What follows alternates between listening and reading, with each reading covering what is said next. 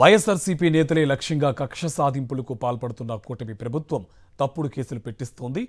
మాజీ మంత్రి జోగి రమేష్ తనయుడు జోగి రాజీవ్ను అరెస్టు చేసిన ఏసీబీ అధికారులు ఏసీబీ కోర్టులో హాజరుపరిచారు. జోగి రాజీవ్తో పాటు సర్వేయర్ రమేష్కు ఈ నెల ఇరవై మూడు వరకు రిమాండ్ విధించింది కోర్టు. జోగి రాజీవ్ తరపున మాజీ ఏఏజీజీ పొన్నవోలు సుధాకర్ రెడ్డి వాదనలు వినిపించారు. ఆధారాలు లేకుండా తప్పుడు కేసులు ఇరికించారని పొన్నవోలు వాదించారు. పబ్లిక్ ప్రాసిక్యూటర్ వాదనలు వినిపిస్తూ ఉండగా ఏ విధంగా కుట్ర కోణమని పీపీని ప్రశ్నించారు న్యాయమూర్తి. దరఖాస్తు చేసుకున్న ఇరవై నాలుగు గంటల్లో సర్వే చేయడమే కుట్ర కోణమని వాదించారు పీపీ.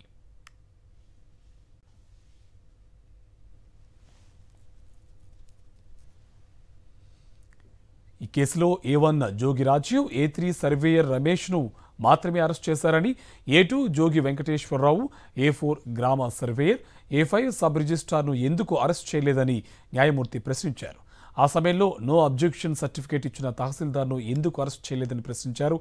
కొనుగోలు చేసిన భూమి అటాచ్మెంట్లో ఉందా?